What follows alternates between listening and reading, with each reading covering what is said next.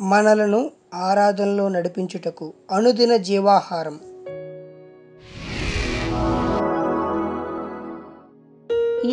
అనగా మన దేవుడు దహించు అగ్ని అయి ఉన్నాడు. హెబ్రేలుకు రాసిన పత్రిక పన్నెండవ అధ్యాయము ఇరవై తొమ్మిదవ వచనం. యేసుక్రీస్తు వారి పేరు వినగానే ప్రపంచంలో చాలా మందికి క్రైస్తవులకైనా అన్యులకైనా ఆయన ప్రేమ గుర్తొస్తుంది. ఆయన ప్రేమామూర్తి పాపులను క్షమించేవాడు అని అందరూ అంటారు. ఆయన ప్రేమకు ఏదీ సాటిలేదు నిజమే కానీ ప్రేమతో పాటు దేవునికి ఇంకా అనేక లక్షణాలు ఉన్నాయని మనం గుర్తుంచుకోవాలి. దేవుడు నీతిమంతుడు. ఆయన ఎట్టి పరిస్థితిలో నీతి తప్పడు. దేవుడు పరిశుద్ధుడు. ఆయన దగ్గర ఎటువంటి పాపానికి ఎంత మాత్రమూ చోటు లేదు. దేవుడు దయాళుడు. ఎంత దయగలవాడంటే నీతిమంతుల మీద అనీతిమంతుల మీద ఆయన వర్షమును కురిపిస్తున్నాడు. సూర్యుని ఉదయింపజేస్తున్నాడు. నీతిగా బ్రతకటం లేదు కదా అని వారిని ఏమాత్రం తృణీకరించకుండా వారు కూడా మార్పు చెందుటకు అనేక అవకాశాలు ఇస్తున్నాడు. అలాగే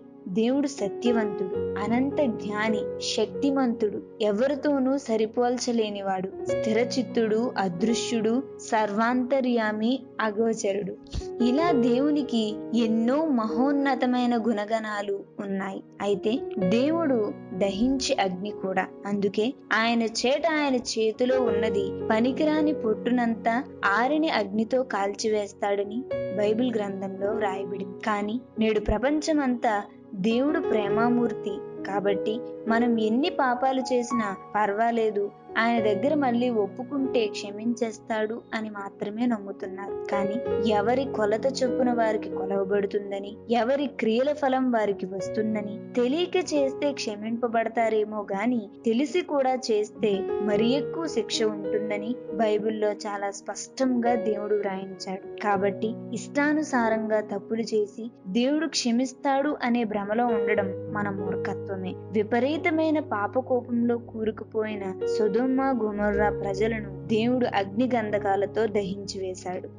పరిశుద్ధుడైన దేవుని పిల్లలమైన మనం పరిశుద్ధంగా ఉండాలి గాని పాపానికి ఏ మాత్రము అవకాశం ఇవ్వకూడదు మన మూలముగా అన్యుల మధ్యలో దేవుని నామం విక్రింపబడకూడదు మనలో ఉన్నవాడు లోకంలో ఉన్నవాని కంటే గొప్పవాడు. లోకాన్ని దాని ఆశలను మన విశ్వాసంతో జయించాలే గాని విశ్వాసాన్ని కోల్పోయి వాటికి లొంగి భ్రష్టులం అవ్వకూడదు. యేసుక్రీస్తు వారు సాతానును జయించినట్టు ఆయనను వెంబడిస్తున్న శిష్యులమైన మనము కూడా సాతానును జయించాలి. పాపానికి లొంగిపోయి మన ఇష్టానుసారముగా బ్రతికితే ఆరిని అగ్నికి జారిపోయే ప్రమాదం ఉంది.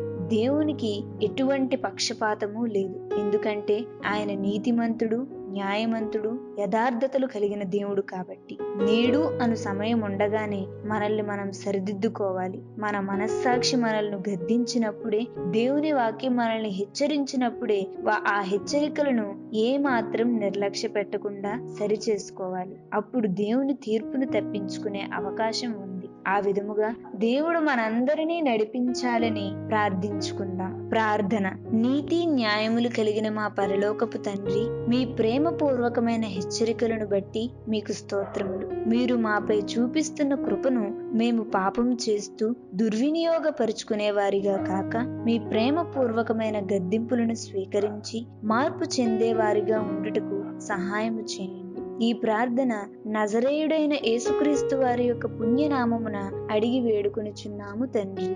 ఆమెన్.